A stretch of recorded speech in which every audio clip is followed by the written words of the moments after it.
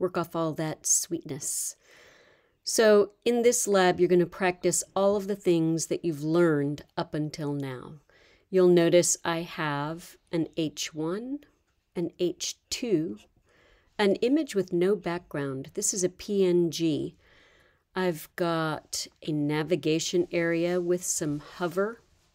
I've got six pages. This is a big lab, but you'll notice by doing an attached CSS file, you can use the same file for all the pages.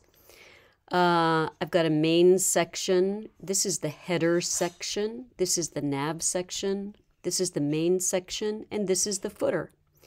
Each of these is organized similarly. This is the same nav. It's just got two different H1 and H2s.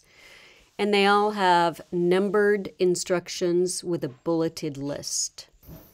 So each of these looks the same. It's got a different footer on each of the pages than the home has. So the same format, part two, there it is, the same thing, same footer. It's just a different set of instructions. So I just wanted you to have a little preview of what this lab looks like.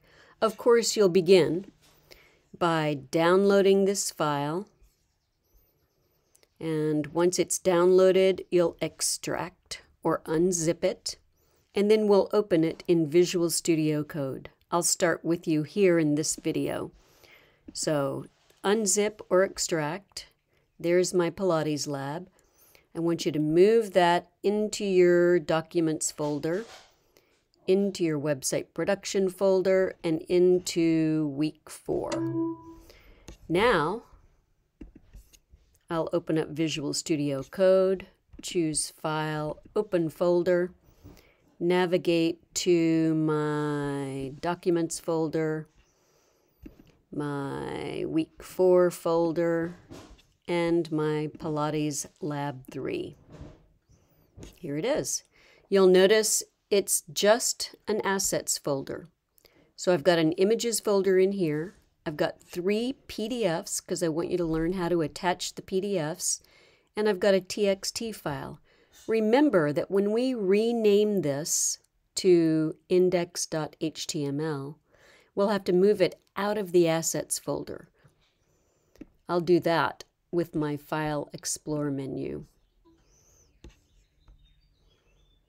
So with this three-column view, I can easily move the pilates.txt in to this column so that it's beside the assets folder.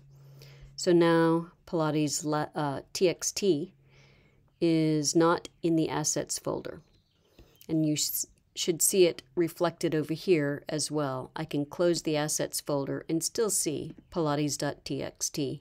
I'll rename it, and in the next video we'll get started. Remember, it's going to be index.html. Always that should be the first name of every first page of a website.